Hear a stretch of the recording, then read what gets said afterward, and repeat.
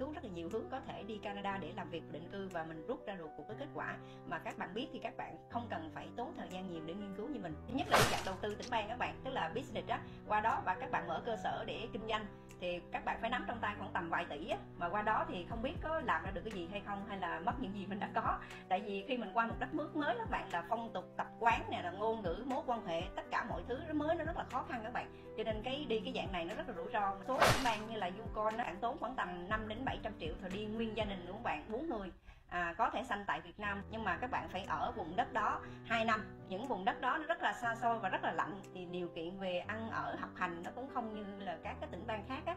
Cho nên là mình thấy cái này mình cũng không có chọn. Thứ ba là đi dạng du học các bạn khá là tốn kém á mà ai có nhu cầu đi học thật sự thì mình nên đi chứ còn dạng thứ tư á là mình có nghiên cứu qua cái này là cái dạng mà mình à, chứng minh tài chính để mình có thể sanh tại Việt Nam á. Thì cái này nó đòi hỏi mình phải có bằng đại học cao đẳng nè rồi phải có tiếng Anh khoảng tầm 5 chấm trở lên à, rồi chứng minh cái tài chính của mình có điều kiện thì mình sẽ có thể xanh ở đây thì khoảng tầm 8 10 tháng thì mình sẽ được đi. Và qua đó mình có thể xanh thì mình có thể tự do xin những cái công việc mình muốn á, mình không cần phải đi làm cho công ty. Mà đi cái dạng này thì đòi hỏi mình phải học tiếng Anh nhưng mình thì không có tiếng Anh thì mình phải chờ thời gian học để có cái bằng tiếng Anh mới đi được á. Rồi phải chứng minh tài chính mình thấy thôi cũng cuối cùng thì mình thấy đi dạng visa work permit vẫn là tuyệt vời nhất luôn các bạn. Thì mình đi theo công việc mà Canada đang cần Ở vậy nó tóm lại là đi theo diện work permit đúng không? Rồi đi theo diện của permit á thì qua đó rồi rồi bao ăn ở đồ gì rồi xây xây nhà xây tòa nhà đồ gì đúng không? Rồi ôi thì trước sau thì cũng phải theo cái diện gọi là mình lùa người ta người ta đi thôi chứ có gì đâu đâu có tốt lành gì nha không? Người ta đi đầu tư theo diện uh, business thì đương nhiên là người ta phải tìm hiểu thật kỹ. Với lại đầu tư business thì làm gì có tầm để mà tư vấn cái thứ hai nữa là người ta đi du học thì đương nhiên người ta phải có tiền người ta mới đi du học.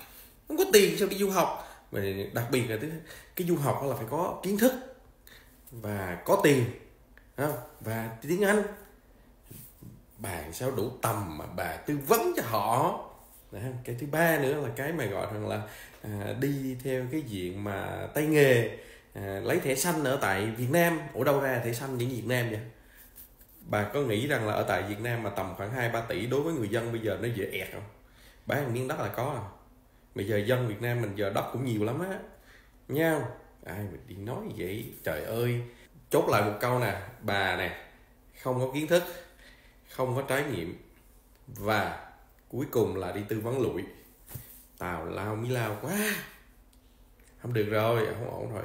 Mà là khi nào qua vậy? Còn 4 tới 6 tháng hoài vậy? Hả? 4 6 tháng miết luôn đó nha. Kiểu này á qua là mình tới mình đón chị ở tại sân bay luôn. Xuống sân bay nào đó sân bay Ontario hay là sân bay Vancouver. Nha.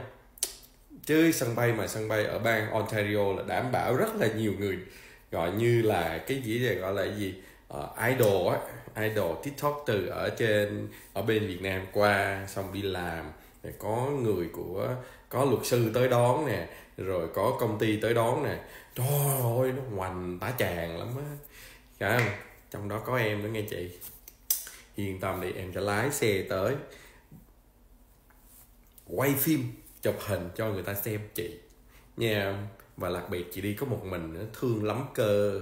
Để chồng với con ở lại à, chồng ở nhà chăm sóc mẹ già đồ nha, thôi, cố gắng đi, ráng kiếm gì ăn ở tại Việt Nam đi. Rồi xong rồi qua bển, nha.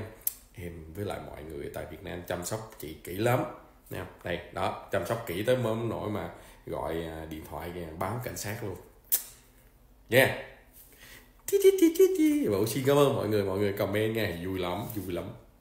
Bye bye.